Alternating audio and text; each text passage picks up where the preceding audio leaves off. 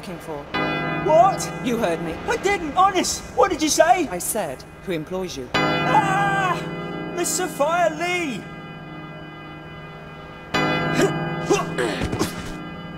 Who's she? What does she do? I don't know. Really, I don't. I just shoot people for her. A commendable work ethic, I guess. Yeah, I put my hours into it, as my father did and his father did afore. Well, how old is this Miss Leigh? I don't know. Late 20s, early 30s? Right. Yeah. For some people, like yourself, we get a special bonus. I'm flattered. I mean, I could even be retiring from you. Then you might like to mind. The bell. Happy retirement.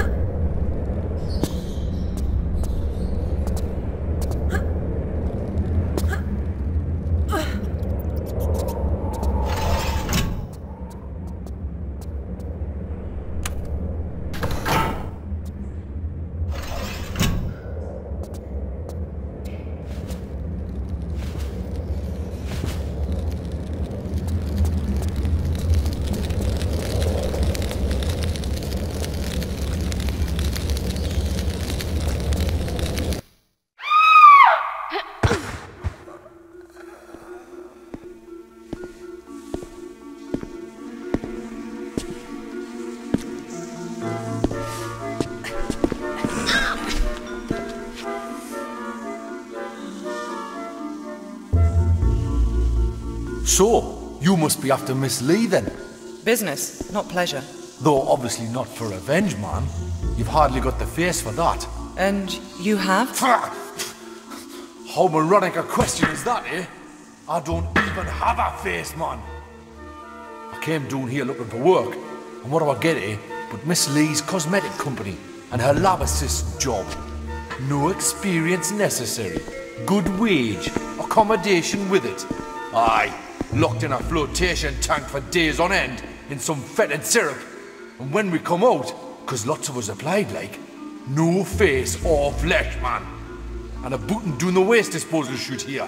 Presumed deed. Some kind of failed experiment then? Oh, ta, very much. But I, and for added insult, when I tried to take my own life, I found it just didn't work. You mean Sophia's testing some sort of immortality power? Along with her own brand of facelift. Why, I, man, everlasting beauty. She's obviously not fully worked it out yet, but she takes the best results for herself. See, I don't care what your business with her is. You can't be any more shiftless than what she is. So I'm gonna go out of my way to help you. That is, after you've done something for us here, like. Very generous of you. What do you want? A bottle of that mummy preservation stuff from the Natural History Museum. Embalming fluid? Aye, for rotten flesh you can't whack it, man. The museum's pretty interesting, I'm told. You'll like it. So why don't you go yourself? One of them Egyptian lassies there is a bit pissed off like that uh, she didn't get immortality the way she wanted it. And seeing as we've done better than her in that department, I didn't care to imagine what curse we could get given any worse than what we've got already like. You'll be fine though, pet. You die easily. Thanks.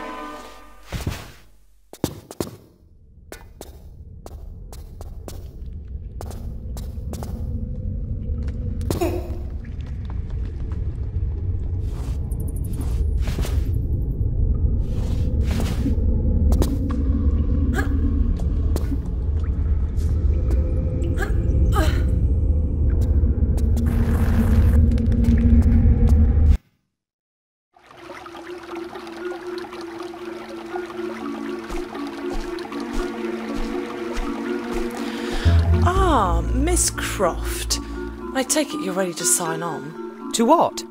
Well, my books. You see, with your lifestyle, you'd be the perfect campaign for my products.